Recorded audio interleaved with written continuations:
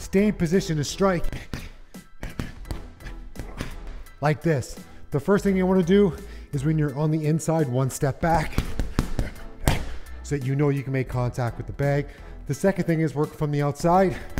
Make sure your jab can always make contact from the outside. When you pivot, make sure you don't step back too far because you're out. So when you pivot, stay here.